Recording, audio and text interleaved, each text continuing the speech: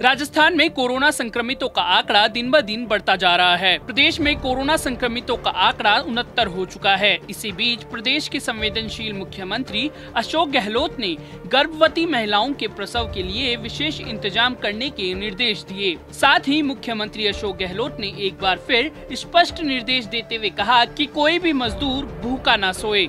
मुख्यमंत्री अशोक गहलोत ने क्या क्या निर्देश दिए, जानने के लिए देखिए पॉलिटॉक्स की है खास रिपोर्ट। ये है टॉक्स न्यूज़ नेटवर्क और आप देख रहे हैं पॉलिटॉक्स राजनीति का कच्चा चिट्ठा।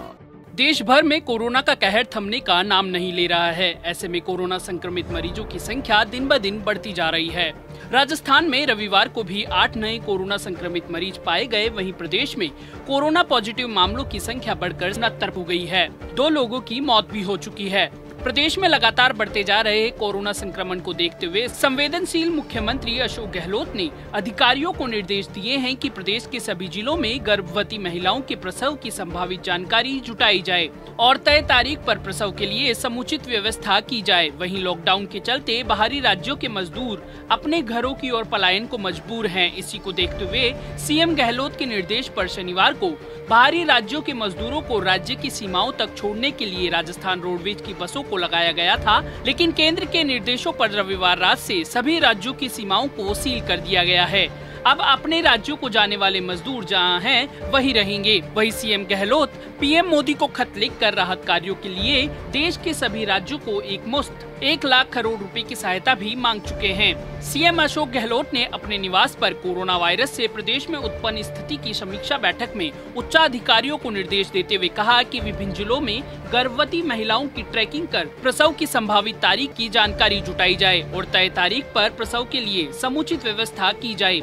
सीएम गहलोत ने आगे कहा कि आइसोलेशन, क्वारंटाइन अथवा ट्रांजिट शिविरों में रह रही गर्भवती महिलाओं की विशेष देखभाल की जाए। वर्तमान माहौल में सभी गर्भवती महिलाओं के प्रति ज़िम्मेदारी में राज्य सरकार कोई कोताही नहीं होने देगी। सीएम गहलोत ने आगे कहा कि राज्य सरकार को समाज के सभी जरूरतमंद और वंचित वर्गों के प्रति अपनी ज़िम्मेदारी को निर्वहन करना है।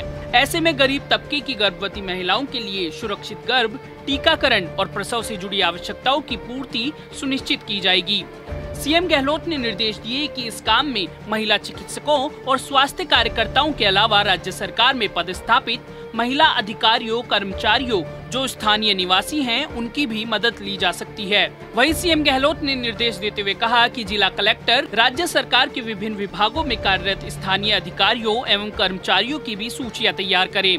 उनको कोविड 19 महामारी से जुड़े विभिन्न अभियानों में वॉलंटियर के रूप में भूमिका निभाने के लिए नियोजित करे।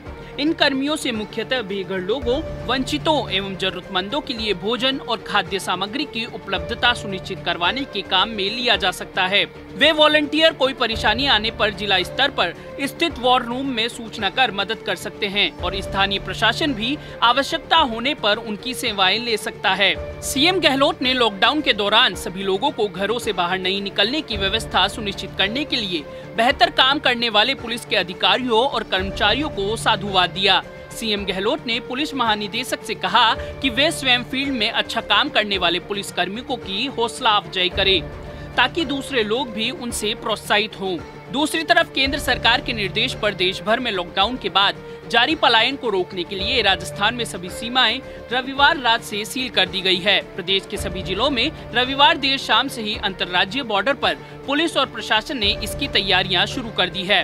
एसीएस राजीव स्वरूप ने बताया कि लॉकडाउन की इस अवधि में कोई भी नियोक्ता किसी भी मजदूर को नौकरी से नहीं निकालेगा, वह उसे पूरा वेतन मिलेगा। वही मजदूरों के मकान मालिक भी इनसे एक माह का किराया नहीं वसूलेंगे। प्रदेश में रह रहे सभी मजदूरों को फ़ूड पैकेट एवं सूखा राशन उपलब्ध करवाया जाएगा। राजीव स्वरूप ने आगे बताया कि मुख्यमंत्री अशोक गहलोत ने स्पष्ट निर्देश दिए हैं कि कोई भी व्यक्ति भूखा नहीं सोए।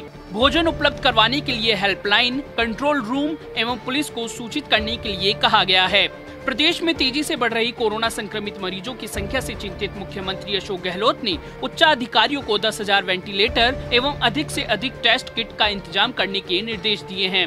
वही सीएम गहलोत ने पीएम मोदी को पत्र लिखकर गरीबों की सहायता और कोरोना की रोकथाम के लिए आवश्यक उपायों को लागू करने के उद्देश्य से देश के सभी राज्यों को एक मुश्त एक लाख करोड़ रुपए अनुदान उपलब्ध करवाने की मांग की है। इसके साथ ही सीएम गहलोत ने विभिन्न प्रदेशों के मुख्यमंत्रियों को पत्र लिखकर प्रवासी राजस्थानियों के लिए भोजन पानी की पूर्ति सुनिश्चित करने का अनुरोध भी किया।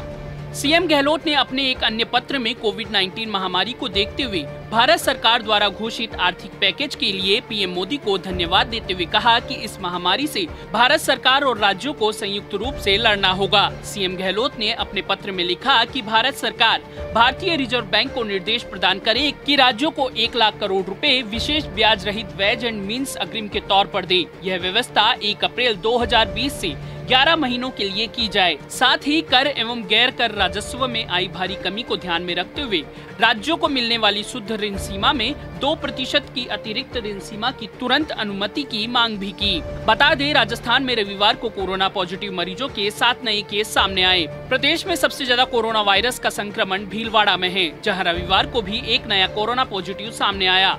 इसके साथ ही एक संक्रमित मरीज़ झुंझुनू में भी सामने आया। वहीं अजमेर में शनिवार को कोरोना संक्रमित पाए गए युवक के माता पिता और भाई भी रविवार को कोरोना संक्रमित पाए गए। इससे पहले प्रदेश में शनिवार को छह नए कोरोना पॉजिटिव केस सामने आए थे।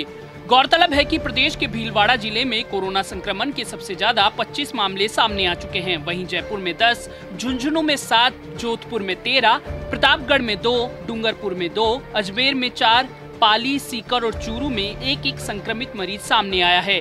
ऐसे में कुल मिलाकर प्रदेश में कोरोना संक्रमितों की संख्या अब उनहत्तर पहुँच गई है। वही चार सौ नवासी मरीजों की जाँच रिपोर्ट अभी प्रक्रियाधीन है। Politalks bureau Jaipur. ये है टॉक्स न्यूज़ नेटवर्क और आप देख रहे हैं पॉलिटॉक्स राजनीति का कच्चा चिट्ठा।